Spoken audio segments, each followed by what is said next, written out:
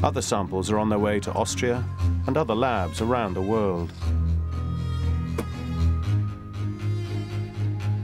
The package is brought into a sterile room. At each stage, proper procedures are followed to make sure that the samples aren't damaged or contaminated.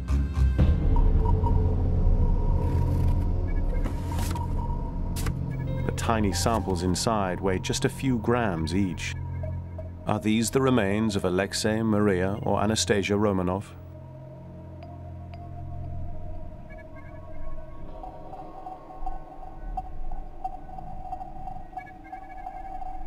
To find out, viable DNA will have to be extracted, then traced back through the generations to genetic markers shared by a select group of people, the intermarried households of European royalty. The Romanov children, like the British royal family, were descended from Queen Victoria. The DNA in this royal bloodline bears unique identifying genetic characteristics.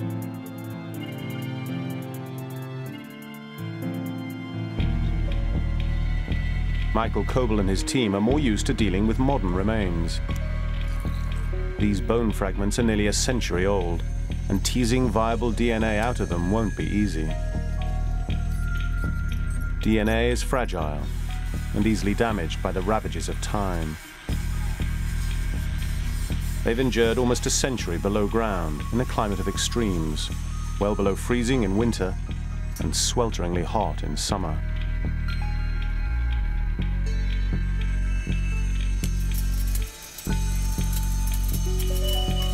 To extract and test the DNA, most of the powdered sample will be used up.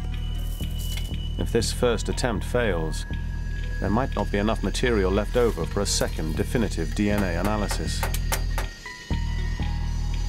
And the mystery of Russia's royal grave may never be solved.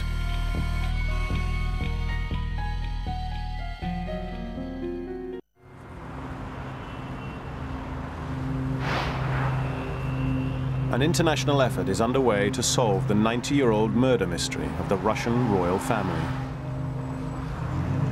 American forensic anthropologist Anthony Falsetti has a lead that may help him piece together separate shreds of evidence recovered from the crime scene. It's a testimony from a long-dead witness.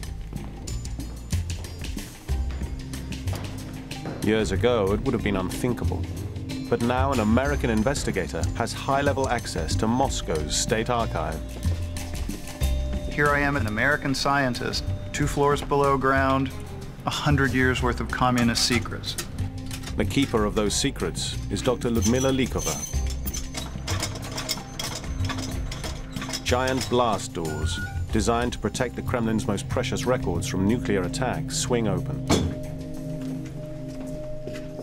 We're down here, it's 30 feet, walls are two feet thick, and this is Lenin's archive. If Soviet archives hold the missing pieces to the Romanov puzzle, this is where they'll be. So these are Lenin's documents, his originals? Телеграмма из Копенгагена Ленину.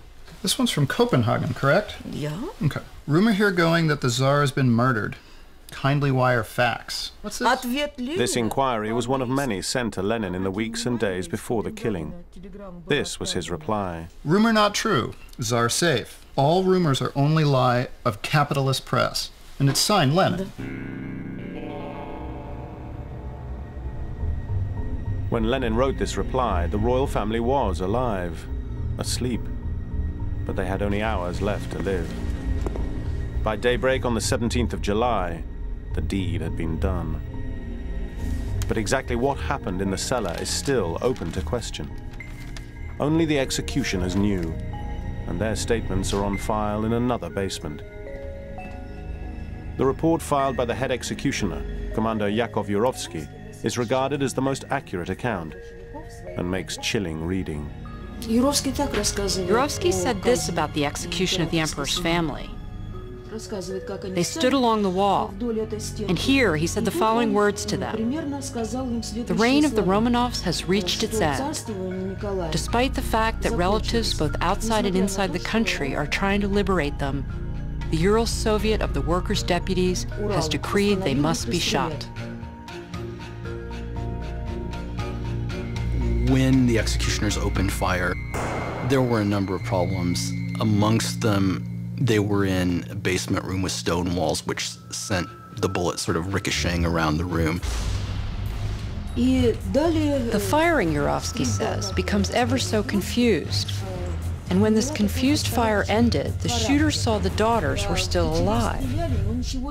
They shot the girls, but nothing happened. They weren't able to kill them. Incredibly, eyewitness accounts agree that the duchesses seemed to be protected by jewel-filled corsets that acted like bulletproof vests. Statements by surviving firing squad members recorded in the 1960s confirm this. It, it appeared they'd sewn diamonds into their bras, a variety of necklaces, pearls, etc., etc. Bullets were bouncing off. There was somebody, well, so to say, as if not finally killed. This woman, Anastasia. A botched execution. Anastasia may have survived the initial gunfire. Could she really have cheated death with a gem-laden corset? And if that was true, then what else might be possible? All the accounts go on to say that everyone was finally killed with a gunshot wound to the head. But what if that's a lie? What if there were co-conspirators? Co-conspirators that could have helped her escape. It's another unsubstantiated story. The forensic investigator decides to stage an experiment to put the first part of the story to the test. Could jewels stop a bullet? Diamonds are the hardest naturally occurring substance known to man, but aren't practical, or within the budget of this experiment. Scoring a respectable 8 out of 10 on the gem hardness scale, zirconias are a more realistic alternative. The replica corset is finished with rose quartz and carnelian.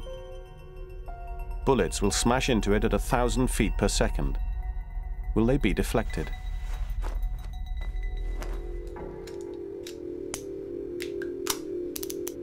Interior Ministry Colonel Vladimir Soloviev is the leader of the Romanov investigation. He's got special permission to handle the actual guns fired by Yurovsky and his execution squad. Tsar Nicholas II was killed with this pistol. This second pistol was also in the basement of the Ipatiev house, and it may have been used to kill other members of the Tsar's family. This pistol was also used in all the events in the Ipatiev house. It's a grotesque feeling to be in the presence, to hold the weapons that killed this family. The original guns can't be used in the experiment, but the investigation has provided duplicates, guns from the same era, but with less iconic value. The reconstructed jewel um, corsets are placed on a mannequin for safety, only the shooter is allowed in the room.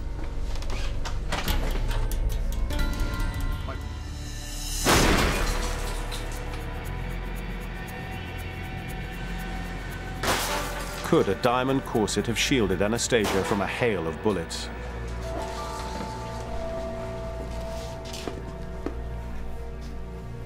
We had different powered weapons.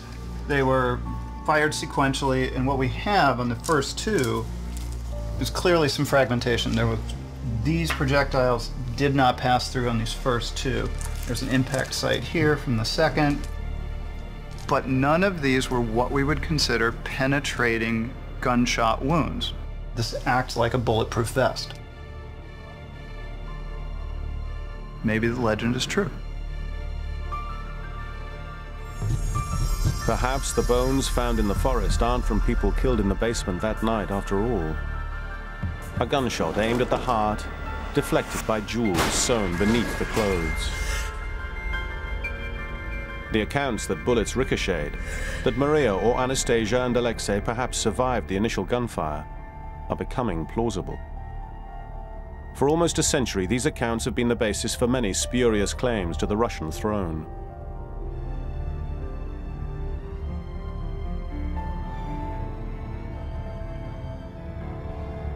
Anna Anderson's claim was the most famous. She went to her grave claiming to be the last Grand Duchess Anastasia.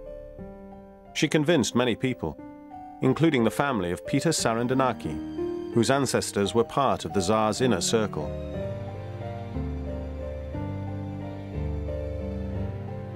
My mother-in-law, to her dying days, to her last day, believed that Anna Anderson was Anastasia. For instance, she had a triangular injury on her foot, which was probably a bayonet stab. She also had the same stub toe problem as Anastasia. She had the same ear as Anastasia. There were a lot of similarities between the two. Despite her persuasive story, DNA testing after her death revealed her true identity. She was not a royal, but a former factory worker from Poland.